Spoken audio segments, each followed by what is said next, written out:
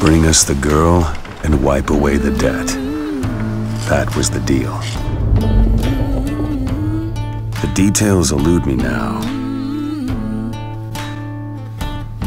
But the details wouldn't change a goddamn thing.